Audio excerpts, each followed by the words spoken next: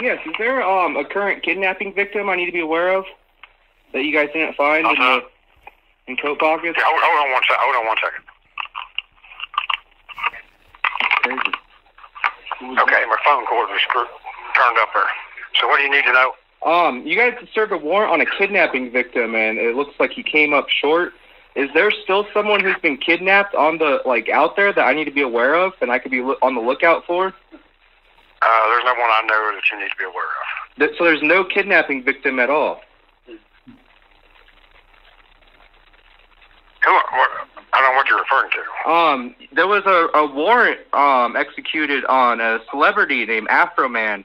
He put up a song called "Will You Help Me Repair My Door" on YouTube, and it shows the sheriff's office disconnecting the cameras and going through CDs and coat pockets, looking and Okay. Looking for a kidnap victim.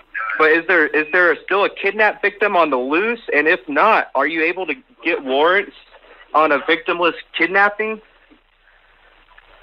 We get warrants on probable cause, and I, I cannot. So who who was the victim? No, no, who was the victim though? Uh, like on a kidnapping. Uh, who are you? Who was kidnapped? I'm a concerned citizen. Who was kidnapped? I'm a very concerned citizen. Who was kidnapped? There was a.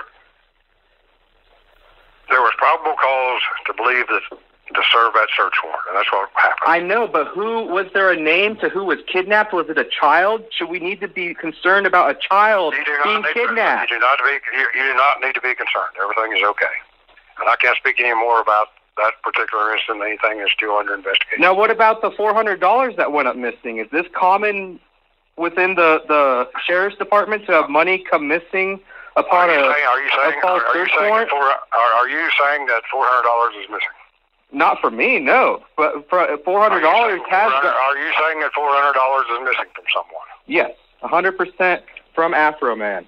Four hundred dollars. You're saying uh, four hundred dollars is missing from Afroman. Yep. Okay, the first thing I did was contact an outside agency about the four hundred dollars to be investigated. There will be a news story on that four hundred dollars. There's no there's no four hundred dollars stolen. So if you Oh, so it was given- it was given back? you'll see that. You need to watch it, watch the news, and you'll see the full story on it. I'm not putting it out until they get the investigation done. So there was no money ever stolen. Wait and watch the news till the investigation comes out, and they'll clear everything up for you, so you won't have to be concerned. So no kidnapping victim, no no stolen money. It's all clean.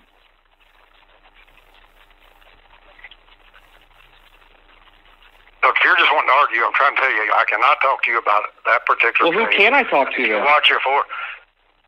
Are you his lawyer? Are you somebody's lawyer? If you're a lawyer, come on in. no, who can I talk to? I'm not a lawyer. I don't know who you can talk to. I, I was directed by uh, to the prosecutor, but the prosecutor directed me right back to the sheriff. And I am talking to you, and I am telling you, I cannot comment on an ongoing case. And if you and the four hundred dollars you are concerned about, if you will watch, I'm more I'm more you'll get enough concerned about I'm more concerned about a kidnapping victim, and then looking through coat pockets for a kidnapping victim, and looking through CDs for a kidnapping victim.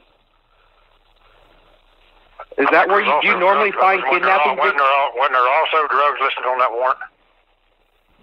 Did you guys find drugs? I cannot comment on that. Oh no, okay. That's just I. I'm just my mind is blown as a concerned citizen. Kidnapping on a warrant just to gain entry into someone's coat pockets. I mean, was it a, was it a SWAT? Did he get like doxxed and swatted?